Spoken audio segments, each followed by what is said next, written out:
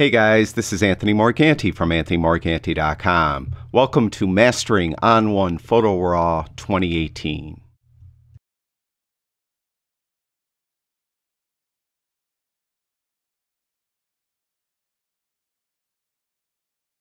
In this video, we're going to continue to work in the Develop module of ON1 Photo Raw 2018. And what I've decided to do is to go over each of the 11 adjustments that are available in this module. Now I can't fit all 11 adjustments into one video, and I do want to cover all 11 of these adjustments in detail. So what I've decided to do is to do a separate video for each of the adjustments. In this video, we're going to cover the tone and color adjustment panel. Now, we have touched on the tone and color adjustment panel in two previous videos, but we really didn't go into detail. So that's what I hope these next 11 videos will be able to go into detail about all these adjustments that are available in this module because I really do want to make you a master of ON1 Photo Raw 2018. So each of the videos will probably be a little shorter, but this one's going to be a little longer only because the tone and color adjustment panel is a little more complicated than the other adjustments. Now, to begin with, when you bring your RAW file into the Develop module, the first adjustment you're probably going to do is the tone and color adjustment. You don't have to do these in order or any specific order, but it is recommended, and I do recommend that you start out with the tone and color. Do this one first. This gets your raw file at least looking the way you want it to look, and then you could add some flourish to your image with some of the other modules. So you're going to start here. Now, you don't have to go top to bottom right in order. You could jump around. Many of us kind of have our own way of doing things when we process our images personally, usually I catch the exposure correct in camera, so I don't really have to adjust the exposure slider. But if you do, you'd probably want to do that first. So you just want to make sure your exposure is correct. After that is contrast, and usually I don't like to adjust contrast early in my workflow. I do have a video where I go over kind of my philosophy of why I process images the way I do. And usually I start out with highlights, midtones, and shadows, then go on to whites and blacks because I tend to make my image flat with the highlights and, and midtones and shadows, and then bring back some uh, contrast with the whites and blacks, and then add more contrast with the contrast slider and the structure slider. So that's what I'm going to do here. But just keep in mind that you don't have to do it in the order I'm doing it in. You could do it in any way that is comfortable for you. With this image here, I usually will start with the highlights. And with most of my landscape images, I like to have detail in the sky. Especially here, we have some nice clouds in the sky, and I'd like to bring out some of the detail. So I'm going to bring the highlight slider down. Now, there really isn't a formula for how to adjust highlights, midtones, and shadows. You could always just come up here and click this auto button and it will automatically adjust the sliders to what ON1 thinks they should be adjusted to. But personally, I never ever like what ON1 tells me that should be, or any program for that matter, not just ON1. So I will not auto adjust. So I'll come in here and I'll bring just highlights down and look at the highlights till I see some detail come in. Then I'll move down to midtones and you look for the stuff that's more of a midtone and I'll just move it around. Again, there isn't really a you know set way that I'll do it. It really kind of depends on what mood I'm in, what I'm going for with the scene and how I remember what the scene looked like when I was there. Because let's face it, when you're shooting raw, your, your raw image usually is so drab and boring looking, you probably are second guessing yourself why you even took the image to begin with. So I'm just going to adjust midtones a little bit to the right here. And shadows, I want to open up a little bit because like the highlights, I like to see some detail in my shadows. So I'm going to look at the darkest part and I'm just going to move the shadows to the right enough so that I see some detail in those darker areas. Now, whites and blacks. I do like to use uh, the kind of built-in automatic white and black point that is available in On1 Photo Raw 2018. But then I will adjust it off that automotive automatic point to a point that I like to use. So to get that automatic point I mentioned in a previous video, hold the J key in. This turns on the clipping indicators. Then come in here with the whites and move it up until you see some red come in the screen. Now, the automatic point was probably just so no red at all is coming through, just like that. That would be the automatic point for the white adjustments. Similarly, for blacks, hold that J key in again and keep holding it in and bring blacks down till you see some blue splotches come in.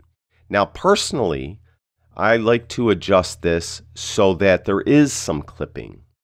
That means there's absolutely no detail wherever those blue uh, splotches are being shown.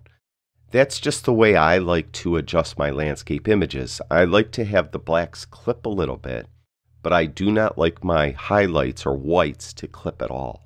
So this is the way I would adjust them. I encourage you to experiment and see what works for you and what you like. Maybe you like it the opposite way. You like your whites to clip and your blacks not to. Or maybe you like them both to clip or whatever. So adjust it and see what works for you. Next, I'll work on contrast and structure. I'll usually jump up to contrast first and add some contrast. And again, it's just by feel. I'm just looking. And then I'll go down to structure and I'll add structure. And structure is really mid-tone contrast. And if you move it to the right, it kind of gives the effect that you're making your image sharper. And if you move it to the left, it makes your image look softer. So this is again all just personal taste and you could do it to whatever works for you. So I'm just going to move it to the right and it just kind of adds some nice uh, clarity, it looks like, down here into the middle. And I mentioned clarity because structure in On1 Photo Raw 2018 is pretty much the same thing as the clarity adjustment that's in Lightroom. So I like that. Now there's really no haze in this image. If there were, I would move this to the left to try to eliminate the haze. And you can see it's adding more structure to the image as well in this case as I move it to the left. And if I move it to the right, it just kind of takes away some contrast and makes the image look a little flatter. So in this case, I think maybe I'll just move it very slightly to the left, minus 5. So it's just adding a little more depth to the image. And when I say depth, I'm meaning that the uh, histogram, and if you click up here on levels, that is giving you the histogram, it's meaning that the histogram is pretty much spread out all the way across the tonal range. So I have pixels represented for every tonal value. So we have a lot of depth to the image. So that's what I like with that haze control a little bit to the left. Now we jump down to the color section of the tone and color adjustment. There's all different ways to adjust the white balance. Now it never really says white balance, it just says color, but this is what this is, is white balance. The easiest way is to use the drop down.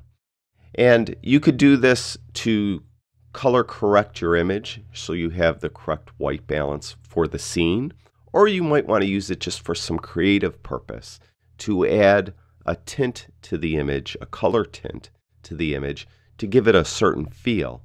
Blue tones tend to be calming and soothing, and warmer tones like yellows and oranges are more vibrant and active and give that feeling of like summer, things like that. And you could do that with your white balance, or in this case, it's called color adjustments.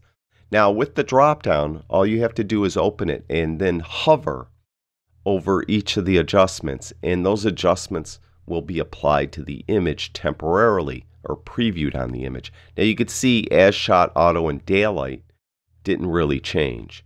I'll move to cloudy and it will get slightly warmer. You could see that. Shade, it gets even warmer.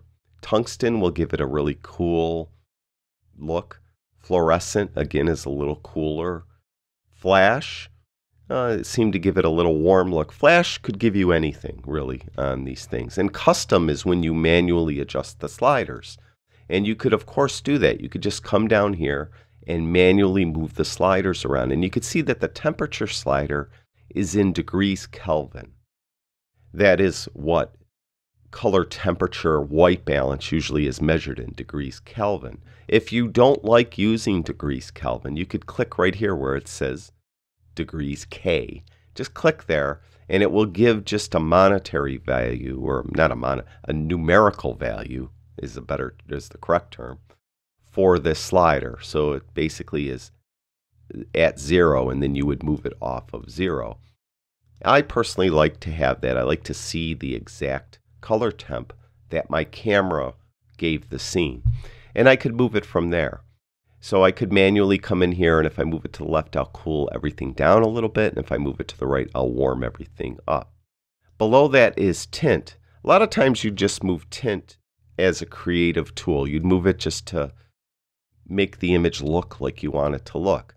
But what you could use it for, and what many professional photographers do, is if they do warm up the image, say with their temperature, in this case, warm up the image with the temperature slider to the right, and they tend to make their highlights too warm, they could come up here with the tint control and move it to take some of that warmth away from the highlights or in the shadows. It depends. So you could always come in and adjust these manually in a creative way or just for a way that you think better represents what the scene really looked like, the actual color temperature that was there that day. Now again, you could just come in and go to as shot and it will reset those sliders. Now another way you could adjust just white balance or as On1 calls it, color, is you could use this little dropper. And what you would do is you would click on it. And when you click on it, you could see it look it turns active and your cursor turns into a plus sign.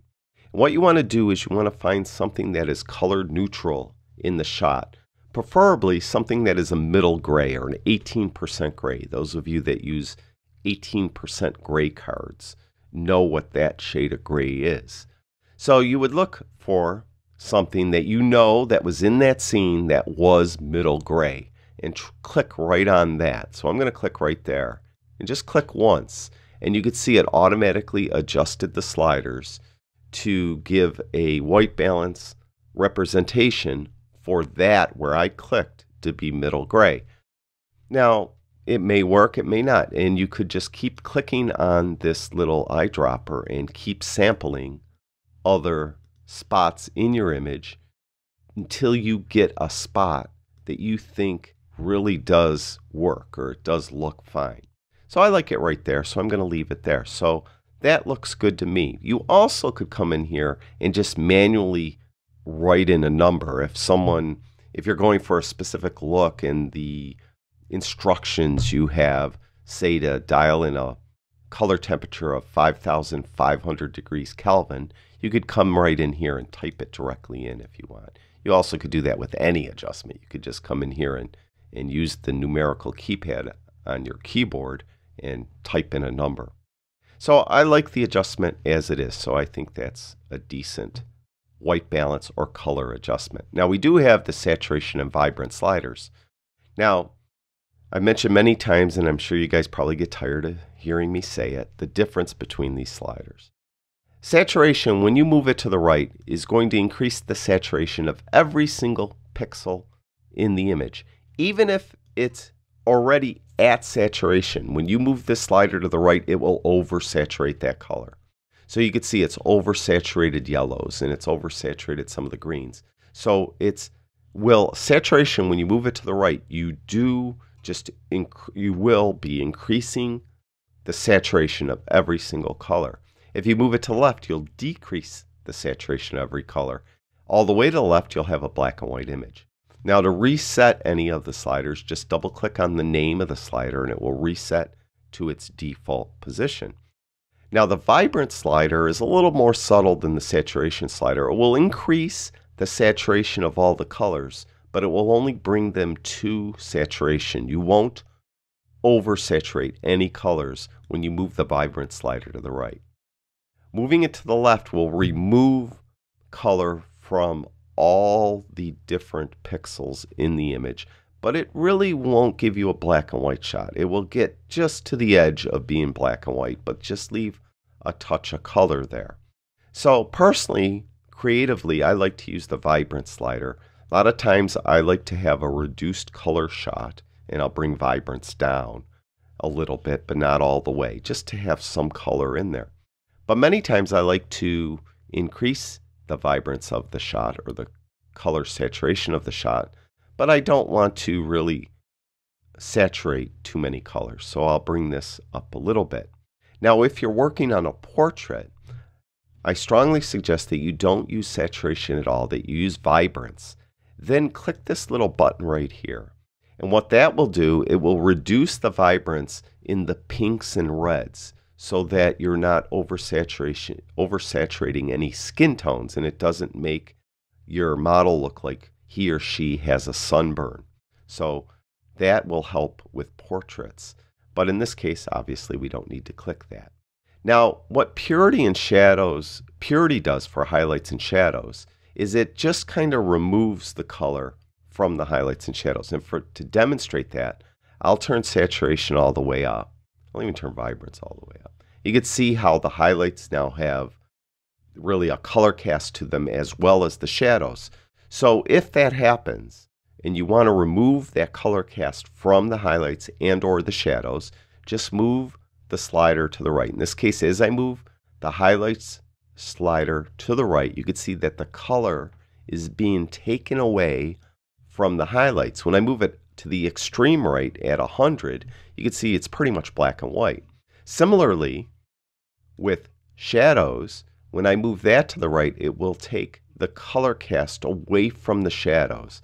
And when it's all the way to the right, it pretty much will give you a black and white image in the shadows. So use those to help uh, eliminate any color cast you might have induced in the highlights and shadows when you adjusted either saturation or vibrance. So in this case, we're going to turn vibrance up a little. That's what I like there. So that is the adjustments of the tone and color adjustment panel in the develop module of ON1 Photo Raw 2018. In our next video, we'll tackle the details panel in detail. Thank you, everyone that watches my videos. I truly do appreciate it. I'll talk to you guys soon.